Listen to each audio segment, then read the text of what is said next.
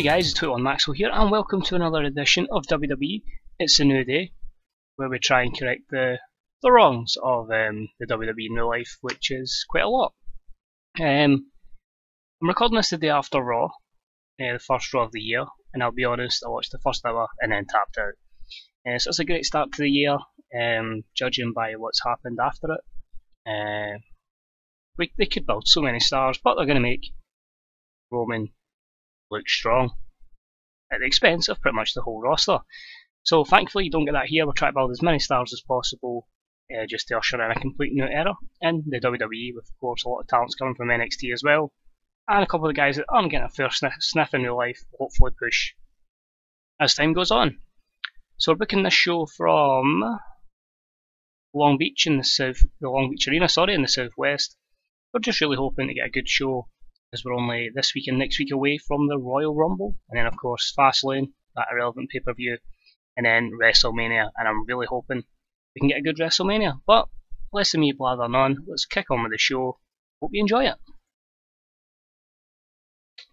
So we've got 11,960 in attendance, that's not too bad.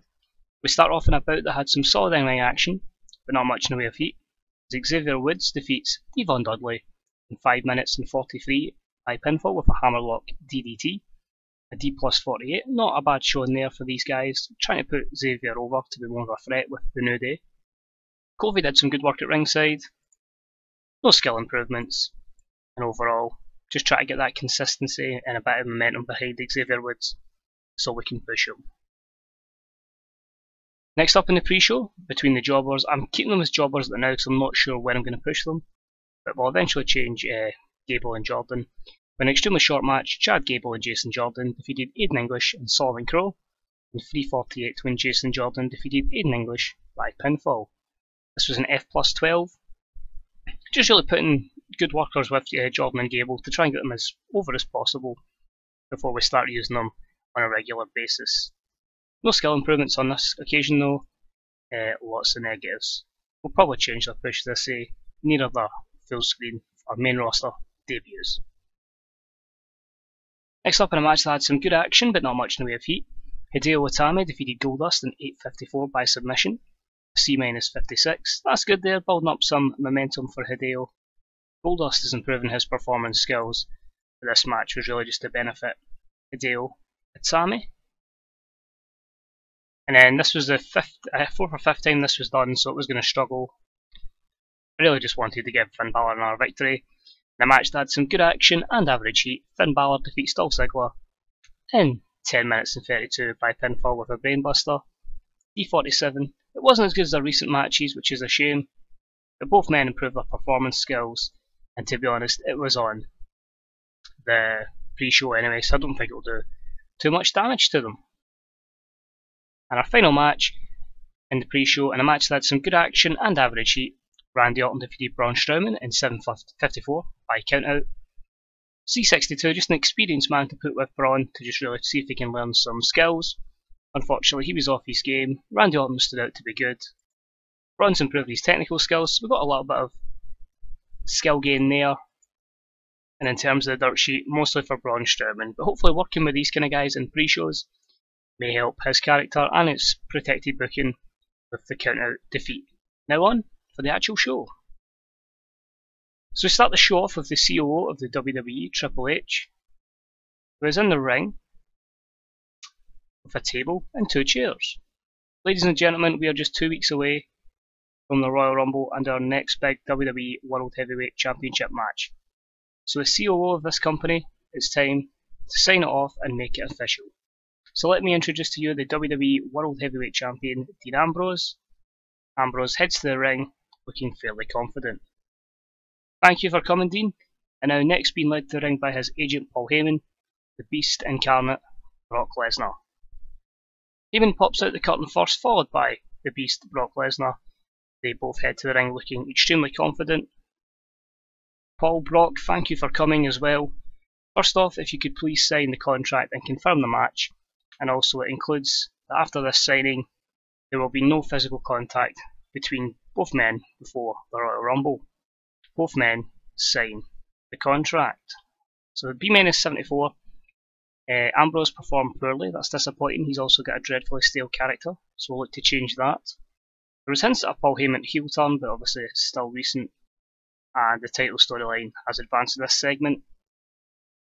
No skill improvements, and the dirt sheet has mostly Dean Ambrose negatives, but hopefully, you know, once we change his gimmick, all of them disappear and we get a much better segment for Dean Ambrose. The contract signed, Paul Heyman picks up the microphone. The lunatic fringe Dean Ambrose. Lunatic. What a fitting nickname that is. Because that's exactly what you are if you're even thinking of getting in the ring with this man, this beast, Brock Lesnar.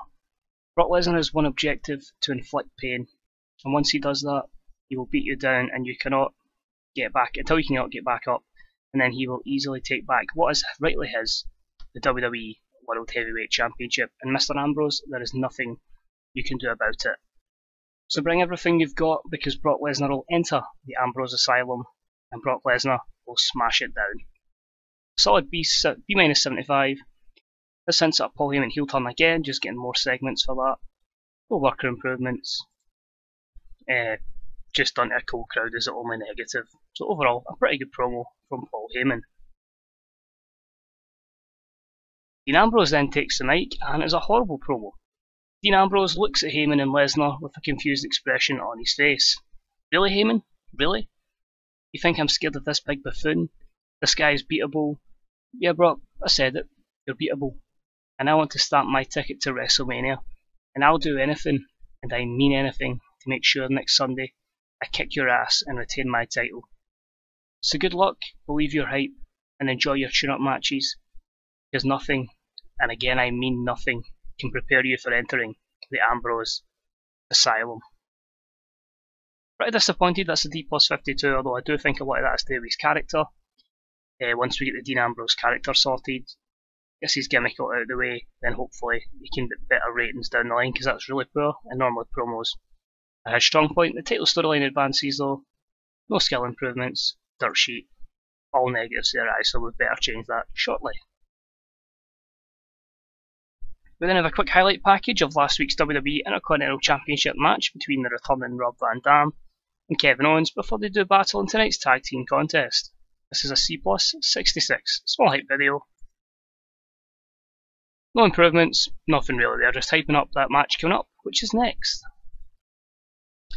In a match that had some good action and average heat, Rob Van Dam uh, and Alberto Del Rio defeated Kevin Owens and Seth Rollins in 10.05 when Kevin Owens was counted out They'll fight in RVD. C64, it continues the Hell Do You Think You Are storyline. I'm thinking I'm going to give them another rematch between Del Rio and Rollins. Overall, lots of negatives there. Maybe need to fix the Seth Rollins character as well. God, so many poor gimmicks, it's disappointing. Next up in and about had some solid in-ring action but non-existent crowd heat. Emma, Sasha Banks, Paige and Naomi defeated Asuka, Becky Lynch, Charlotte and Natalya in 10-21 when Sasha Banks defeated Natalya by pinfall while Wheelbarrow Bulldog. Basically just putting over as much as possible Sasha Banks. D45 is pretty decent. Lots of things here. Tamina doing good work at ringside despite the lack of chemistry between her and Naomi. Diva storyline continues because they're pretty much all thrown in there. Becky improves her performance skills and Sasha her rumble skills. And there's going to be a lot of negatives, but there's quite a few positives as well, so we'll build this Divas division up. I tried to integrate it, but it says it was changing the product too much, and I don't feel that's a risk I can take right now. So down the line, we definitely will.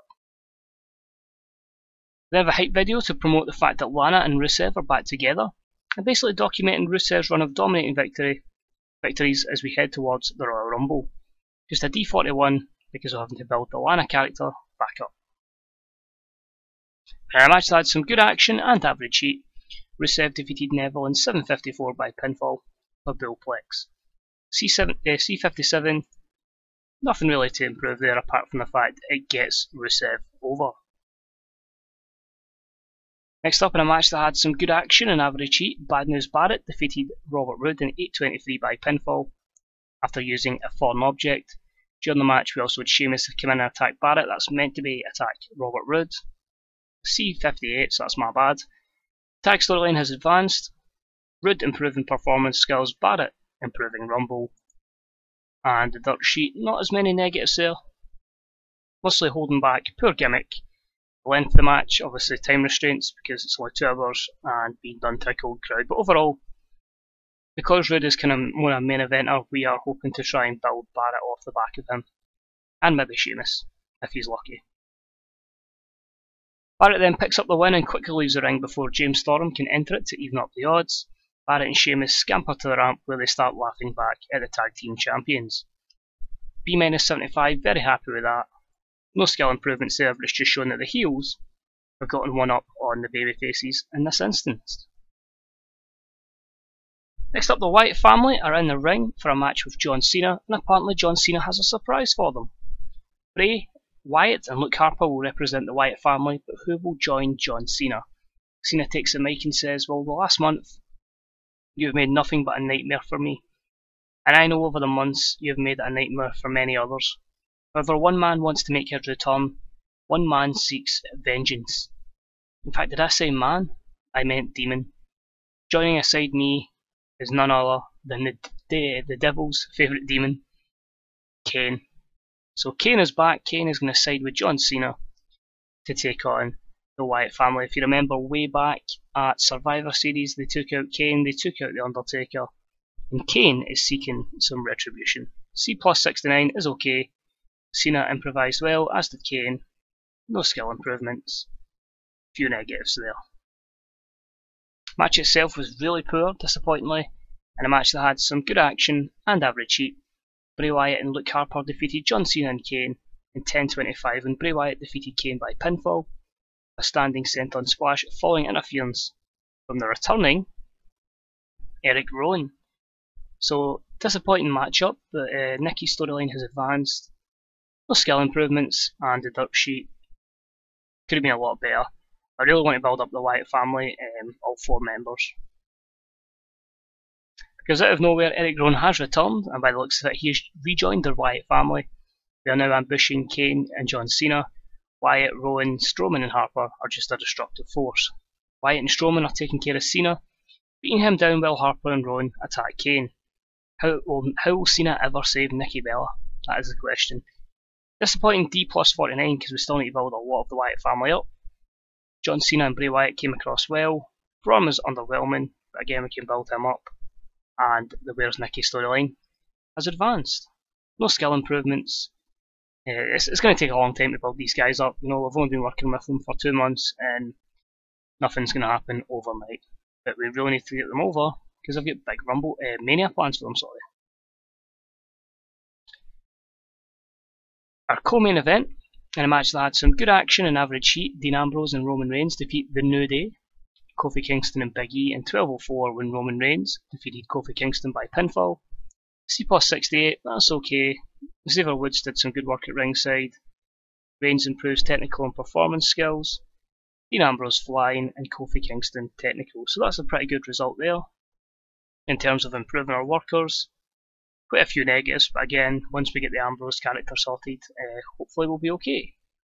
I'm probably sold out in SmackDown, so we won't actually see the changing of his gimmick because, uh, as I said, I'll make sure that happens in SmackDown and we'll see that that's fine. But obviously, I don't record SmackDown because it's just filler. And Joey Mercury's giving us a lot of advice, that's cool. In our main event, and about that featured great action and a good crowd, Brock Lesnar defeats Cesaro in 13.06 by pinfall with an F5 following a distraction from Cesaro's US title opponent Finn Balor. B-76, that's okay. Better than Lesnar's last match with Swagger. Heyman did some good work at ringside. Again hinting at that heel turn. The US title storyline continues, so that gets a good boost. Lesnar improving performance skills. Uh, quite a few negatives there, but nothing overly concerning. I'm quite happy with that, and that puts Brock with a bit of momentum before the pay-per-view. What a battle between Cesaro and Lesnar. Paul Heyman picks up the mic and cuts a quick promo to end the show. I hope you're watching that, Mr. Ambrose, because in two weeks, that title belongs to Brock Lesnar. Tick tock, tick TikTok. A B78 hints again at the heel turn. This title storyline advances, no skill improvements. And the show gets a B minus 74, so just under where we need it to be. So we're going to lose Pop in the US and Canada but we've successfully gained pop everywhere else. Not the best show in the world, as I say, a lot of folk we still need to build up. Um, but really interesting the fact that Sheamus and Barrett, for entertainment angles, can get as good a rating as our main eventers. So I'm maybe need to push maybe the Wyatt family earlier on in the show and use other guys later on the show. But uh, no, it's cool. I'm trying to build up so many stars at once instead of uh, WWE's logic uh, building up just Roman. So we're going to take a few hits because so many people are getting booked in a certain way. But that's cool. As long as I don't fall even lower, I'll be quite happy. Uh, let's see, Superstars didn't get in particularly well. Raw, they enjoyed it, so that's not bad. Um, emails. Let's see, we got a 2.44, a 4.38 on the USA network, so not too bad there. Not going to click my decisions in case it's a spoiler. So, size wise, 67s were two above national. Hopefully, we don't fall even lower, which would be disappointing. Uh, as I say, I'm going to keep at it. You know what I mean? It's, it's all about building stars up. Once we get a lot of stars on this mod, it'll be easy, but the start is always going to be hard, hard because uh, makes these mods really difficult. But as the challenge, I'm more than happy with it. It's more about telling the stories than, than getting the ratings. Got plenty of money as well in the bank if need be. So thank you for watching guys. If you enjoyed the video, leave a like. I've got one quick question for you. With WrestleMania coming up in two months' time, I want to try and plan ahead how I'm going to book other matches. Is there any legends you would like me to try and bring in that are maybe on hiatus? Any former wrestler? Let me know in the comments section below, uh, and I'll see if I can get many of those guys booked in for Mania as possible. As always, thanks for watching, thanks for your support, and um, just remember, as bad as WWE is getting, us TW bookers will try and provide you with an alternative. But thanks for watching. Enjoy the rest of your day. Bye bye.